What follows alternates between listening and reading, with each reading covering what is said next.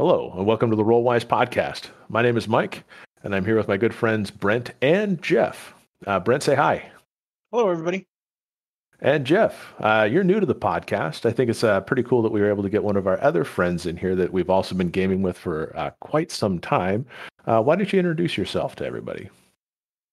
Hi, everyone. My name's Jeff. I've been uh, an avid gamer for most of my life. I started playing role playing games uh, in grade school with Advanced Dungeons and Dragons, good old AD&D. Uh, I was fortunate enough to be partner in a local gaming store uh, for several years in the early 2000s.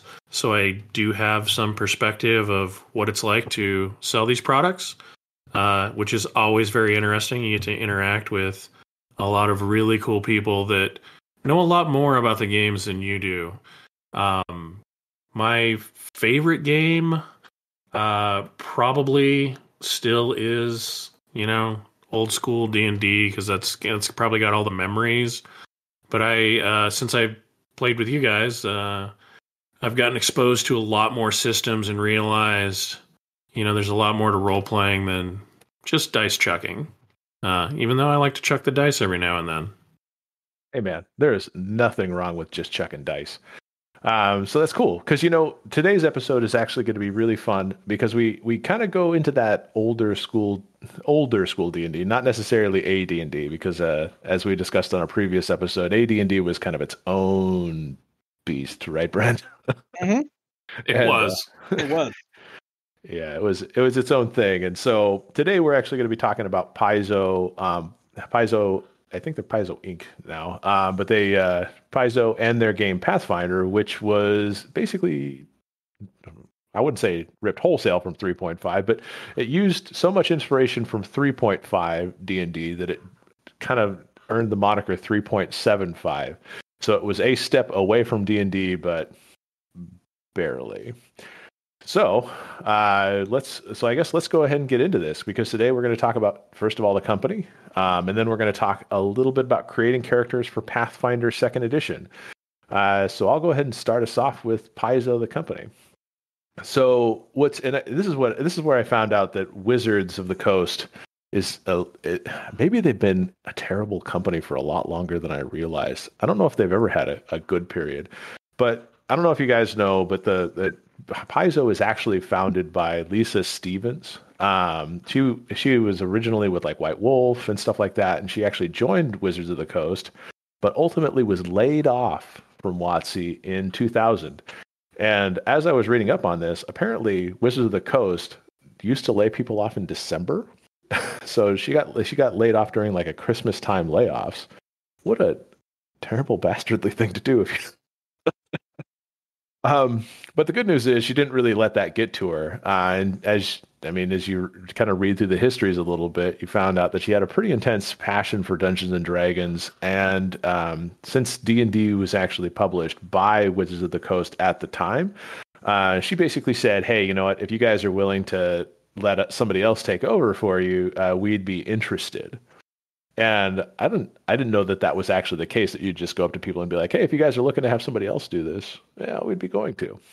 Um, but yeah, so she basically did that, and Wizards of the Coast said, "Hey, sure, we'd be happy to to basically let you publish these magazines um, instead of us because comparatively, the Dungeons and Dragons books and everything like that that they were making at the time were far more profitable than the magazine." And I'm not actually sure, but it seems like you know, if you have a big company that, you know, produces a few different types of gaming products, it seems like the magazines, which people seem to love, at least in spirit, always tend to get cut first. But I don't know if you guys have noticed, have you seen a lot of companies putting out a lot of magazines lately? Like a lot of Patreons seem to have magazines. Like I know um, Matthew Colville, they have Arcadia, and they have a few issues of that under their belt. But but it's a it's a is it a is an actual is it an actual printed periodical or is it an e-zine like it's an online magazine? Oh, you know that's a good question. I know for Arcadia, I have the first two issues um, in PDF form, but I don't think I had an option to buy like a physical copy. Because I think what you're starting to see is you're starting to return. You're you're starting to see a return to those like monthly periodicals um, in e-zine form.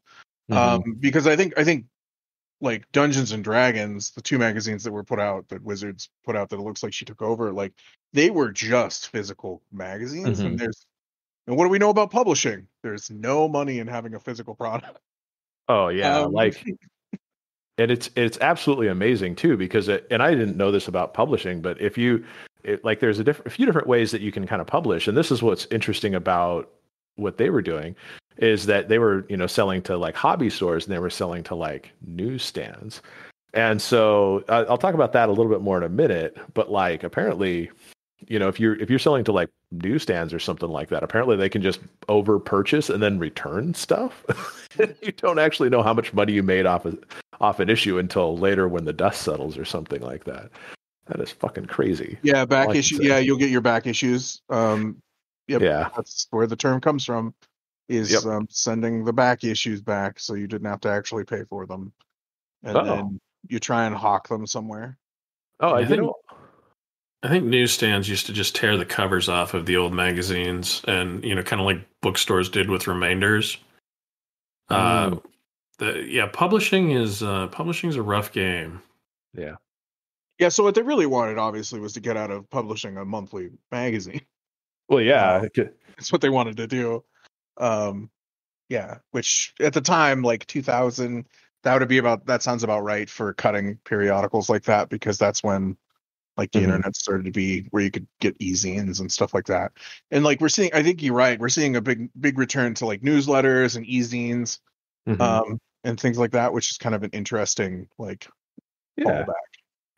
It, it's it's nice how it's kind of cyclical, and I think we can talk about that, that a little bit later because I, I think it it in itself is its own kind of renaissance. The because there's it's almost like a deluge of information. You almost have to pick and choose your best e-zines to get now. Um, but speaking about Paizo, so you know basically Lisa um, said, "Sure, let's uh, go ahead." Um, I'll take over these things, and that's when she founded the company Paizo Publishing. Um, and it, Paizo, I guess it ha- it has a Greek meaning. Did you guys know this random piece of trivia? You know what Paizo means in Greek? No, No, It means I play or to play. So huh, I thought that was rather fitting. it's interesting. Yeah, yeah, the, the name makes more sense now. it, it does. It like actually seems purposeful, which as you look at Paizo's history, it seems like they've had a, they've been very clever and very purposeful for a very long time, which is kind of a cool thing about the company. Um, but she didn't start this company alone. She got with a guy named Vic Wertz and Johnny Wilson, um, and they actually transitioned the staff from Wizards who were working on the magazines at the time for Dungeons and Dragon, and they basically took the staff. They even worked out of the Wizards of the Coast offices um, at the time, and they basically were working there until they could kind of transition them out and kind of get their own thing going. So it was kind of cool that even though Wizards of the Coast totally just said, "Hey, thanks, but no thanks" to Lisa, that they still managed this relationship and kind of spun off this company. And I mean, as you could tell, I mean, that's I. I can't imagine today where that would happen, where like a company would let you go and they would let you within a hundred yards of the building without a pass. you know, Right. like today it just feels like once you're separated from a company, you're you're dead to them. so Right, and a possible like threat. yeah. So, uh, well, whatever. So, and so when you look at it, um, you know, they they actually were working out of the offices and doing all those kind of things. And all in all, they actually started with three different magazines. They started with Dungeon, they started with Dragon, and they also had a license to publish something called Star Wars Insider. Um, did you guys know that? I remember that it existed now that you mention it, Mm-hmm. And I've probably thumbed through a few issues, but I don't remember ever actually purchasing any. Yeah. Well, I, I mean, I, I like Star Wars to some degree, but obviously, uh, I didn't, you know, I didn't purchase this magazine, but I didn't even know that they published it. Uh, but unfortunately, Star Wars, this magazine was like over half their revenue.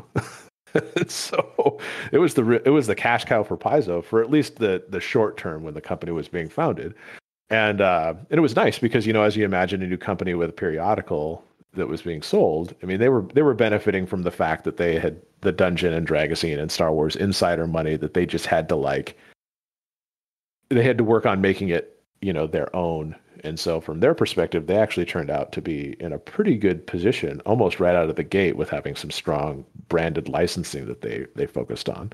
Well, yeah, Star Wars is a big license. Anytime you Mhm. can get like that Yeah. associated, you'll probably make money because Star Wars fans are crazy.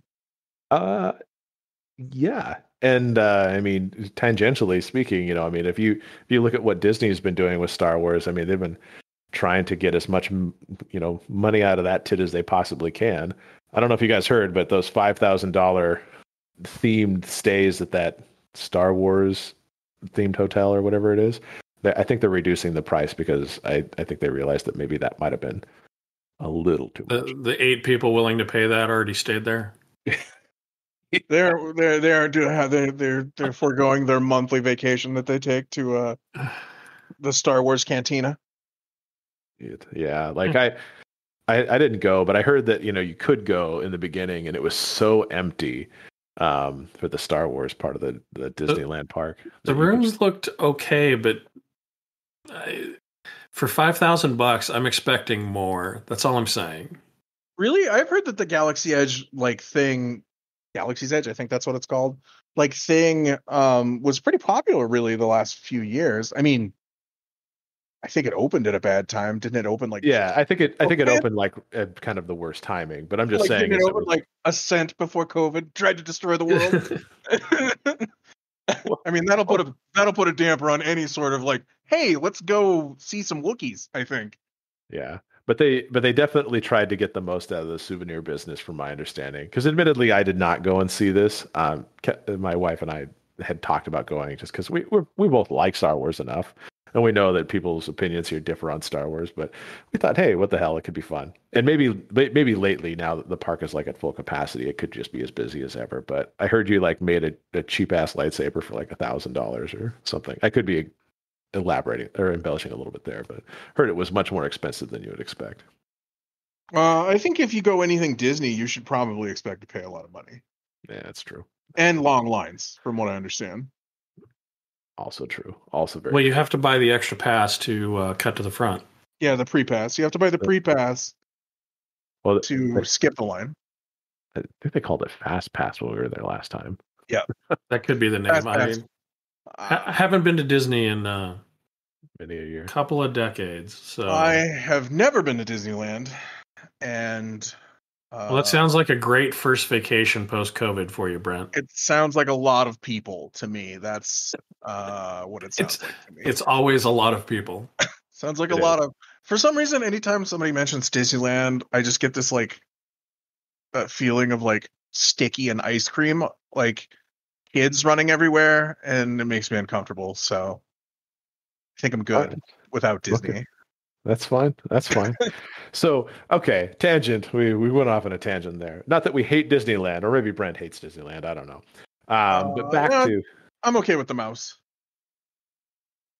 we're not getting paid by the mouse, so that is a truthful comment.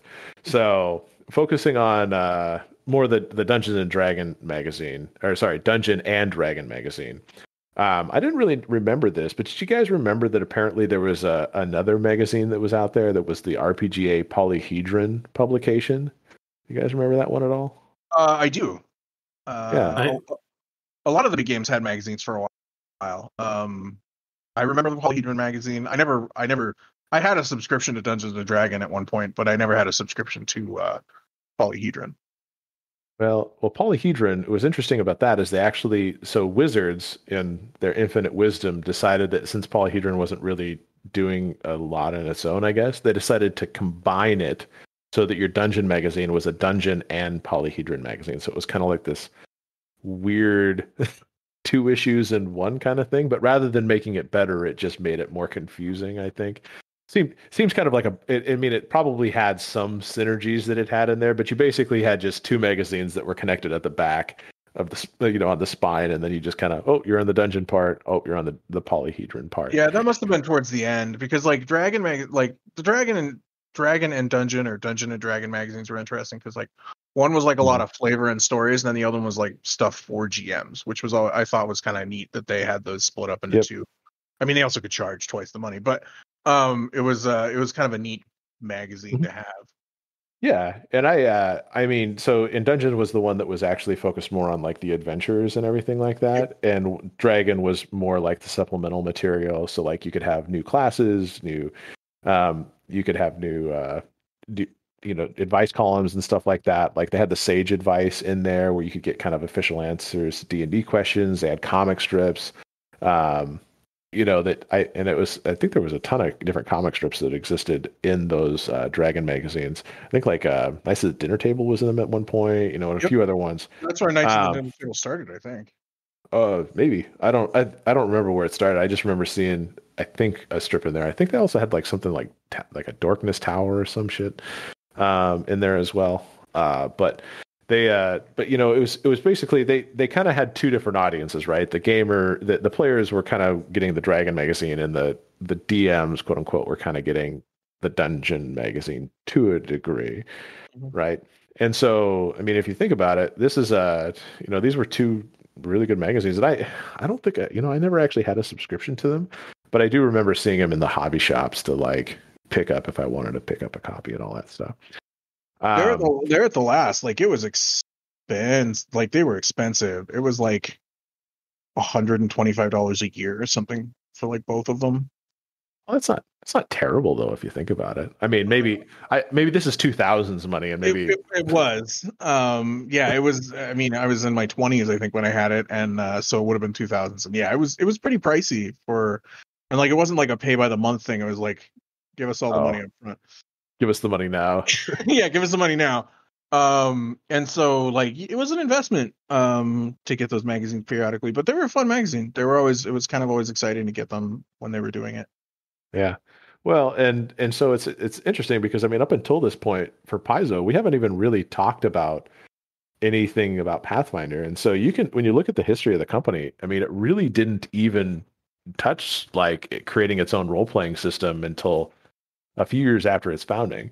And what I think is kind of neat is that the company and how it reacted to some pretty big events that happened to it um, really, I think, kind of speak to how Paizo has become the the kind of I would say powerhouse that it has in the role playing space. Uh, the first one was is that uh, apparently when one of the people left from the company, like they lost their ability to publish the Star Wars content. Like LucasArts basically took back the license, and so if you imagine imagine having your your business and then all of a sudden half of it is gone. so that was a pretty big uh you know a pretty big blow to their their their books and everything like that. They did try to like you know fill the gap with some additional publications that ultimately failed, some additional magazines and stuff like that. Um, they did launch Paizo.com. I think that's when I the first time I had actually remembered Paizo was the website that they had. It, I don't think it was that great of a website, but apparently, I mean, they sold a lot of third party stuff on there, and so it was kind of like a gamer hub, kind of like DriveThruRPG is. Um, I don't know when when did DriveThruRPG start. Anybody remember? It's been around for quite a while, but I don't remember when they started. Yeah, I don't I don't know if they were like similarly launched or anything like that, but it's just that's the first thing that came to my mind is that Paizo is kind of in a in a similar vein offering third party material as well as their own thing. Um, and then Uh, Of all the 2004 is when DriveThruRPG started. oh, so actually DriveThruRPG was before um, Paizo.com, I think in that case. I think Paizo.com was like 2005 or so. Um, that's crazy. And and so then the next thing that really kind of hit Paizo in its own little weird way was the fact that uh, Wizards, you know, I mean, Paizo basically built up this subscription service, and they were doing pretty good, you know, with the you know going online and doing all that stuff. Um, and they had been building these adventure paths, and they had been you know building their brand quite successfully. Um, you know, I think when they kind of reformulated the magazines and everything like that, um, you know, they had put out adventures like Shackled City, Age of Worms, uh, Savage Tide. Did you hear about any of those those uh, original kind of Yeah, I've? I've, heard, I've heard of those. I haven't. uh, we- didn't play any of them, but yeah, I've heard of those. well, well, I fucked up Savage Tide. Like I've done that personally. Um, Uh, Shackled City, I've definitely. I think we may have played some of in one of my older gaming groups. Yeah, and so I mean, this is this is of course back mid two thousands or something like that. But I had a gaming group. We tried to run Savage Tide, and I I don't remember how far we got before the the company or the the party turned murder hobo. But um, I think it was only two sessions in before all of a sudden everybody was starting to die and stuff was starting to get set on fire, and I was having a lot less fun than I expected.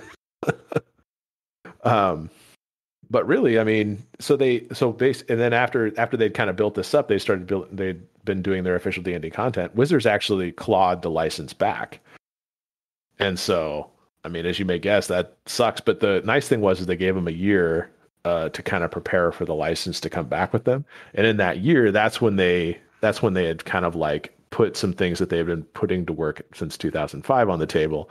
And that's where you start to get the the genesis of pathfinder really coming to be. And the So- severance, the severing.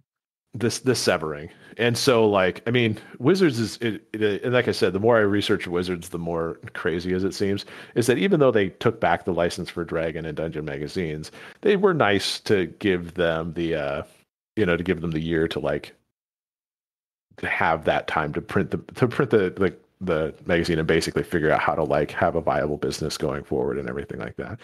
Um, they were publishing a lot of other role-playing kit type stuff um, and they started publishing like their game mastery modules and stuff like that. Um, but they uh, they started putting together Pathfinder, and you know they started introducing people to the world of Golarion, kind of like you know through the adventures. You know, you st- they started having that. Right. Oh, they started publishing in Golarion and all that kind of stuff. So they started building out the world. But what's interesting is I didn't know about this at the same time, but Wizards had also another like trademark license out there. Did you ever hear about the D20 tr- system trademark license? Do you remember that? I yes. Well, so apparently that's what I think that's what people were afraid of because I was actually looking at some forums, you know, some RPGNet like .net and stuff like that forums where they were, you know, those because those are cool kind of time capsules to go back in time. And you could see that this they had the same kind of thing happened with this D20 system trademark license because Wizards clawed that, you know, they revoked that license and it left a whole bunch of people in a shitty place. It was I think one person called it the implosion of the D20 systems because all these people Yep. had kind of built these the, this content on that and then they said nope we're going to do that um, but at the time everyone was like oh the ogl is irrevocable and i mean that was you know only a few years after the origin the open game license had been created so there was even at that point everyone felt that ogl which we were talking about in 2023 um, was a lot more safe than than the uh, than the d20 Well, yeah, and the more and the more you talk about it, like saying, well, they gave them a year. Um, it sounds like a lot of the stuff, the the decisions that they made over the last, I don't know, month, um, Mhm. disaster month, uh, may have been as a as a like knee jerk reaction to what originally happened with Pathfinder, where they Mhm. split the community. Like, oh God, we don't want to give them a year to get their shit together. Um, Yeah. like we did last time. like that seems like because I mean that's I and like I said when I like we've talked about before. Um, I think a lot of of of Wizards decisions recently with the open beta test and everything are really in an attempt to do a litmus test to see if they're going to split their community again. They really want to avoid people not going to D and D one. I think, and that's and that's and I think that's really what everything has been about. And I think Mhm. that's where you know where the fumble comes in. Is Well, uh, exactly trying to make sure people because like they definitely don't want people con- to continue to make content for f- 5e when they have a new game out because they just created competition for themselves which is Mhm. absolutely not what they want Well, exactly. And and like the crazy part is, is so then you know Paizo gets everything set up. They put together their game. They launch it in Gen Con in 2009, and by the end of 2010, because around these times, you know, fourth edition was basically the big, the, you know, the big next step for Dungeons and Dragons. Is that you know I think I think the people at Paizo basically said, do we have, do we go the route of fourth E or do we do our own thing? And they decided to do their own thing. And by doing that, they basically created Pathfinder, you know, D and D 3.75, and according to what I was reading, by the end of 2010, they were outselling fourth edition on their third party side, and then by the end of like 2011 or so, um, you know, they were they were either competing directly or even outselling them in D and D type stuff. So when fourth edition basically said that they were shutting down shop and going to go fifth edition, you know, in 2012, like pretty much Paizo and Pathfinder became like the top dog, if not, you know, if not the top dog. Because I mean, I don't, I didn't. There were no sales numbers that basically said how many units were being sold or anything like that. But there was like the the, the everyone's opinion, as well as what I was able to find, is that they're pretty much Pathfinder had either matched up or eclipsed D and D at least for a short period. Uh, we all know that that didn't necessarily keep because you know it sounds like fifth edition won a lot of hearts and minds back, but yeah. it did. But yeah, um, I mean, yeah, Pathfinder was the the thing because fourth edition was so ill received. I guess is the way I would put it. To put it nicely, it was yeah. the game that no one really.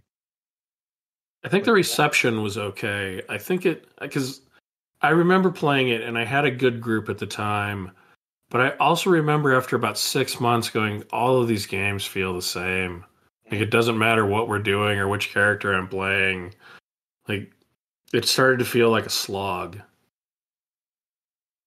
Yeah, fourth edition really had uh it, it had more of a video game mentality where um you felt like maybe they were trying to get ready for making an MMO or something. But um yeah, it definitely wasn't the, it definitely wasn't as interactive as 3.5 and kind of a, all the everything kind of felt samey and I think that's where Pathfinder really overtook um like 3.5 was a beloved game weirdly enough like people say talk about how it's too crunchy now or you know it's like spreadsheet the game but like people loved it um mm-hmm.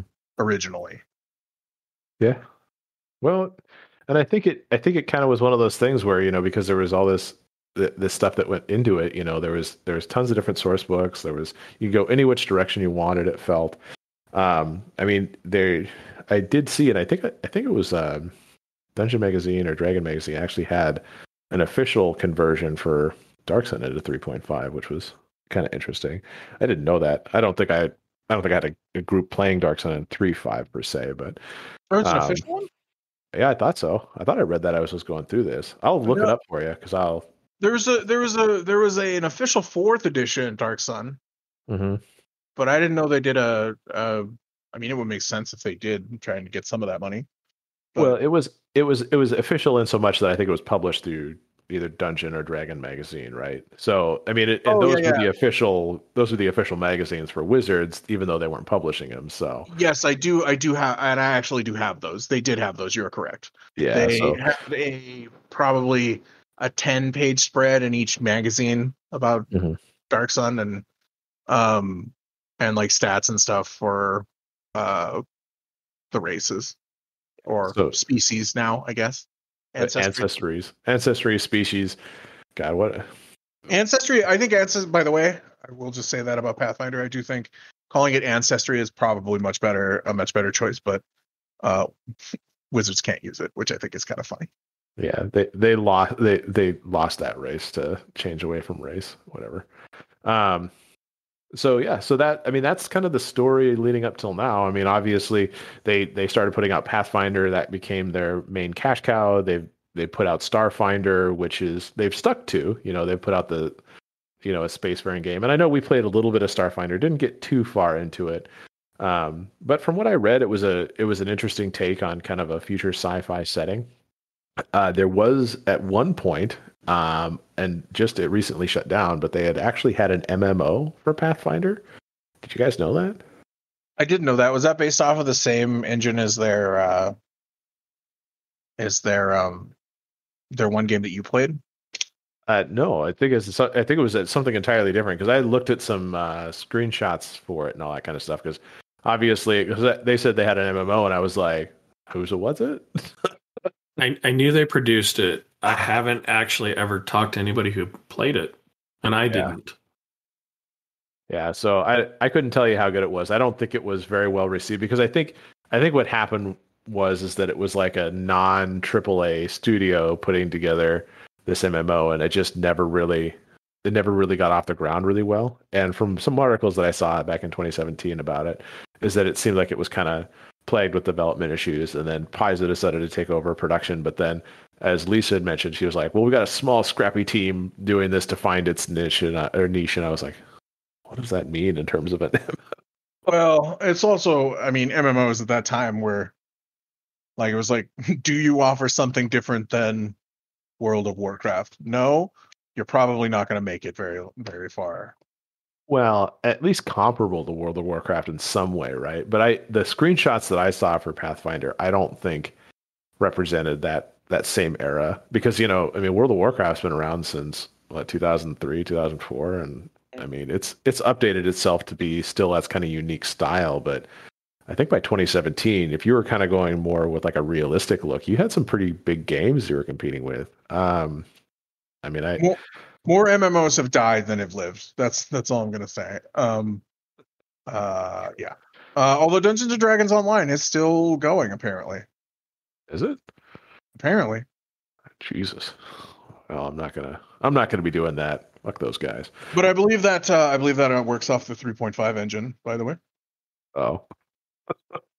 So there well, you go. maybe maybe maybe not. Maybe I'll maybe I'll support them depends on if Wizards get any money from me that way or not. It might be So, free to I I think it might be free to play these days. It's a pretty Ooh. old it's a pretty old MMO free to play with with microtransactions Well, maybe I don't know. I believe I played it for like half an hour once. Uh, before I was like, "Yep, this is an MMO. I don't play these anymore because they're kind of boring." Yeah. They do they do break your brain a little bit. So so yeah, that's Paizo. Um I have to say that as a company, like they they seem like a scrappy little underdog, and it it seems like at various points in their history they've made really good decisions that happen to be the right decision not only for the time, but also set them up for some pretty good future success. So, you know, like the fact that they, you know, didn't rely on the D20 system, you know, trademark and all that stuff and went with the OGL instead. And the fact that like right now they're kind of like reinserting themselves into the conversation and they reinserted themselves in such a fantastically brilliant marketing way. Um, and as I told you guys earlier, I've got my book. Um, your local game store may have a book if you're lucky, but you know, as we said, I think the stat was they sold like eight months of books in two weeks or something stupid. So more success to them. Hope they can celebrate with some champagne. yeah, I might try and pick up one uh, a physical copy of the book uh, at some point. I did buy a PDF um, just to make sure I had it.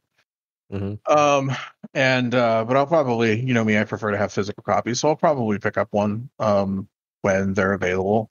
Um, cause yeah, I collect role playing books, so. and and they're good and they're good so that's it that's the introduction to paizo so um, that was kind of the section i wanted to run through and just kind of for people that are listening to know a little bit about this cool company um, they were they were pretty interesting starting off as a publisher ending up as a you know a fairly big player in the rpg world um, is pretty neat and i'm glad that they were able to do that uh, so i'm going to have brent take over on this next section uh, because we wanted to kind of give you a little bit of background on like how to build characters in this and like kind of start to think about that because uh, you know right now as you guys are aware we're we're playing a little bit of Vaesen. We've got some mysteries going on. I'm trying not to kill their characters, and both Jeff and Brent is, are in the games, and so we have a current mystery that we're running that we can't talk about yet. Um, but once we're done, kind of transitioning through some of that free league game, uh, we're going to go over to Pathfinder, and we may play through one of the adventure paths, or at least a portion of it, just to get a sense as to how well Pathfinder Second Edition plays by some of the other stuff that we've uh, we've tackled in the past. So more on character creation probably coming soon. Yeah, what I what I kind of thought we could do today is um I'd kind of hit the high points of character creation for Pathfinder, um kind of some of the differences from uh D&D 5e, some of the stuff that I think is interesting, the choices that they made um in the character creation kind of background. And then like you said um later down the road we'll actually make a few characters on the podcast so you can kind of see how um it kind of works um and what kind of characters that we'll be playing in whatever adventure that uh mike decides to try and kill us with.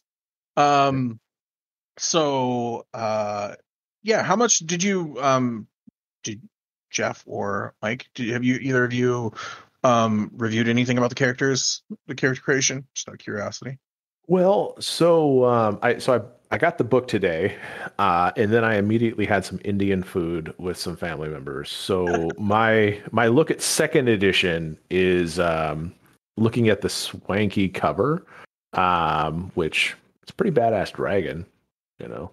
Uh, the art is beautiful. Uh, I love. Uh, one of the things I will always say is, um, I love Pathfinder goblins, and the character design on the goblins is amazing. Um, so I mean, it's pretty. Honestly, the if you've made characters in Dungeons and Dragons before, um, the Pathfinder system isn't going to probably throw you too much for a loop. Um, there is one big difference that I think is interesting um, that I noticed uh, right away as I was reviewing how making a character works. Um, It's the ability scores. Um, Pathfinder default Pathfinder suggests that you don't roll for your stats. Um, Okay. It actually suggests that you do.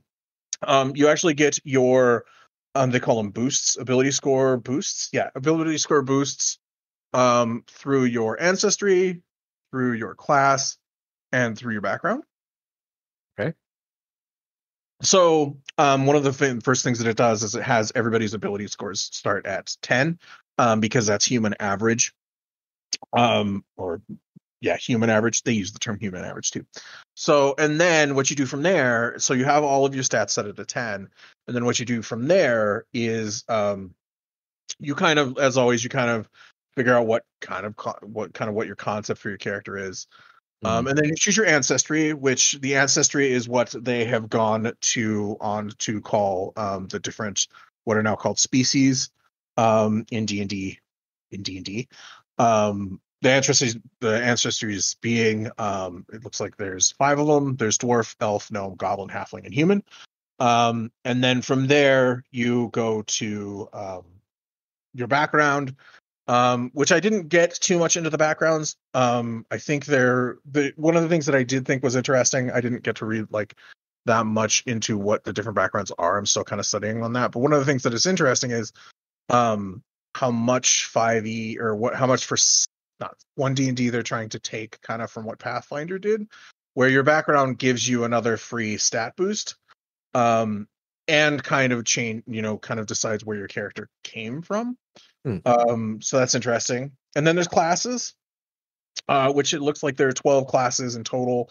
Um, the one differing from D and D being the alchemist, Mhm. um, which is kind of their take on uh, the alchemy school in the artificer. Um, it's a little bit different, but similar. Um, and then you have the basics: barbarian, bard. Um, you also have a champion, uh, because um, that's what they have for their paladin. It looks like um, champion. Um, and then the basic classes, and then the big other biggest thing that is different, um, of course, and this is back to the days of uh, uh, 3.5, and I think the probably the part that make people the most concerned when they look at a Pathfinder character is um, feats. Um, Pathfinder does use the feat system that 3.5 did to strongly like customize your character. Mhm. Um, so I think you get a feat almost at every single level of your character. Um, and then you can choose from racial feats or um, like class feats, and they basically customize how your character plays. Um, like if you want to be a um, rock dwarf or a forge dwarf, they all have different feats you can take um, that'll kind of customize how you proceed. Um, they change you, give you some basic ability differences and maybe some different stat boosts. Um, so it's really similar but different in kind of its regard to how to make the characters. Um, I really like um, I really like how they use ancestry um, and the backgrounds. I feel like I feel like this is what one D and D wants to kind of copy. Um, and I think some of the channels that we've listened to in the past that have talked about like what one D and D should do. Um, the reason they say that is because this system seems pretty pretty good. I mean, it's pretty interesting. It's very involved for making your character. Yeah. Well, and I think I don't think that's bad to necessarily give some sort of mechanical application to different components because I I think you have those two different types of approaches, right? And if you have something that's kind of mechanic heavy, which I mean, at least looking at the character sheet for a Pathfinder character feels like there's a lot of a lot of different components to it. And you know, from a just a complexity in character sheet, it looks very com- you know complex as opposed to maybe a more narrative driven game which isn't going to have so many little tiny you know ticks and numbers and different areas to focus on and i i can't say that it's necessarily more complicated than your current fifth edition d&d sheet but I, at least it feels like there's a little bit more um, there's a little bit more you have to kind of focus on And I mean, especially when you start looking at just the upper left hand corner, you get like the key. You know, you see like there's a single action, a two action activity, a three action activity, a free action, a reaction. Oh my god, I'm already lost. You know. Yeah, yeah, definitely. It looks it looks a lot more complex, and I think that's one of the things that 5e did is they did streamline this a little bit. But I think um, this is an example of one of those games that does you do a lot up front for ease of play later down the road. Yeah. Um, you you put a lot of like you write a lot of numbers down, you put a lot of feats down, and kind of what the description is. But once you start, once you have all that stuff up front, it Mhm. kind of eases into play. Um, that's the big difference between like uh 5e and Pathfinder and those and games like that, and like a lot of the old school Renaissance games. Like the old school Renaissance games are like, um, like for example, Troika, which we've talked uh, before. Um, Troika is like three stats. It's like Mhm. roll your skill, roll your luck, roll your stamina. Um, that's it. Um, which means the difference is is is like how like one of the things that I think is different about both Pathfinder and D and D, and I think in looking at kind of the difference between the characters of games that I've been looking at recently, which are more narrative storytelling games like Troika and Mörk Borg and stuff like that, is that combat is going to be a bigger part of your game in um, Pathfinder and D and so there's going to be more rules around it. Um, to try and make it a little bit more strategic, like how you use a feat or how you use a spell, versus something like again, I'll use Troika as an example, which is, you know, what do you want to do? Okay, roll your, you know, roll two d six, add your skill, add your advanced skill. Do you beat the other guy's roll? Yes. Mhm. Okay. What happens? Um, whereas you're going to have more of that upfront thinking done a little bit for you, like if you have some sort of weapon feat or something like that. Um, you know that you'll have kind of a description baked in of what your character is doing um and i think that's and i think that can look daunting but i don't think i think once you get past the the the this spreadsheet the game idea i think it would be pretty easy because again i remember playing 3.5 and it didn't seem that daunting at the time um and I don't feel like Pathfinder would be the same way. I I think it just takes a little bit of looking and running through a like once or twice, um, Mm. and I think you'll probably be fine. And I do think one of the other things I will say about the boost system that they have for the core stats is Mhm. you're going to have more variation than I think in 5e, um, because in 5e, I most of the time now what people do is they just take one of the arrays, the standard arrays, um, and they just take that and then add all their stuff. Um, and so you have a lot of people that start from the same place. Um, and I think in Pathfinder, it kind of for the Pathfinder character creation kind of forces you to think about it a little bit more. Hey, Brent, in uh, you know, post pandemic, when we had a lot of new people getting into the games, do you think that uh, a character creation system like Pathfinder's makes character creation take longer? Do you think newer players would find it more daunting than some of the other systems out there, where you know there's a little bit more focus on quick play, or at least you know getting into stuff a little bit faster? I can see a new player definitely being um like if you if you set the character sheet in front of somebody who's never played a role playing game before and like we're gonna make a character, um it's gonna be like having somebody look at Excel and being like, okay, we're gonna make a spreadsheet, um and their nose is gonna bleed and it's gonna be really daunting. Um so yes, it looks more complicated, especially like I said from if they have um if they've played OSR games, which are the the simpler like like I said, Troika is three stats. It's two d six, and you know, pretty easy to do. So this is going to look much more daunting than that. But I think if you have a good GM who can help walk you through the steps, I think the first time you might run into some questions and it may take a little longer. But I think after doing that a few times, you're probably going to have a pretty easy time.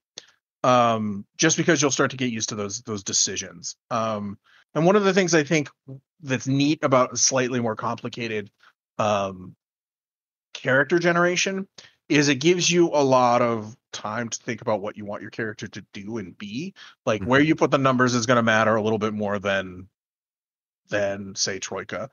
Um, which Troika, your character is almost completely going to depend on how you play the character versus any of the skills or anything that it has. Um, uh, some of those nor- like narrative storytelling games are much more um, like improv storytelling than say a classic D&D game. Sure. No, I, I I look I look forward to learning down the road when we do that. But uh, thanks. I just I've just played with so many more newer people in the last few years that some things that I think we seem to take for granted. You know, like oh. this is just part of the stuff. Oh, yeah. Oh, 100%. Um, 100%. Uh, it would be daunting at first. When I opened up the book, um, even I was a little confused because I was like, oh, how do you how do you determine your stats? Because I couldn't find. I was like looking for a point buy system, or and then I saw the optional like roll for your stats thing. So I had to like sit down and kind of buckle down and really read it. Um, and there are times where like if you're a new player, you're gonna you're going to ask them, you know, well, you have to decide do you want to put your free boost in strength or dexterity? And then you're going to kind of have to tell them, you know, what they do.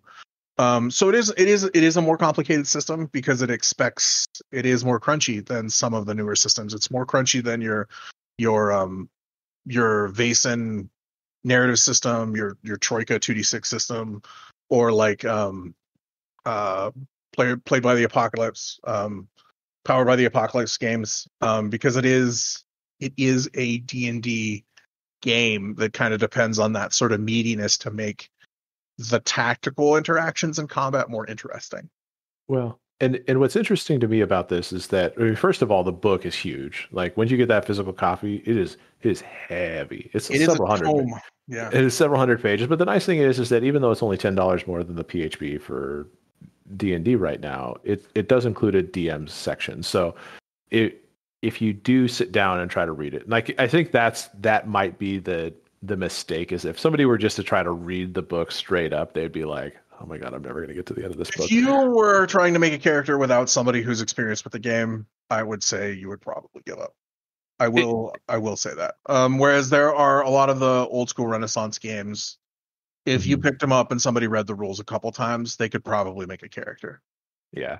So so I think that this game, if if you have never played a, an in-depth game like Pathfinder or something like that, I really would encourage that, you know, you have a group of people like if you had a situation like, you know, me, Brent, and Jeff, you know, you could sit down and you could read it together and kind of just hammer at the process and like say hey you know what? Let's let's try to make these characters and go through their step by step. Because i i do know that they have a step by step like here's step one here's step 10 i think they have yes. 10 different steps. It, and i think they even give you in, like an example as to how the different characters yeah. are generated. So yes nice. they do they do have a step by step. The, the actually that was one thing that i wanted to comment on. Thank you for reminding me uh, mike. Is the organization of the book is very nice. Mm-hmm. Um, like it's very, it's pretty easy to navigate from through character creation, um, because it's all basically right there as you go through it. Um, whereas others, other books kind of have they like jump around, like pick your mm-hmm. class, pick your background. Well, I don't know my background. Do I pick my class before my background? Um, you know, things like that. So I will say that that is one thing that I think does very well.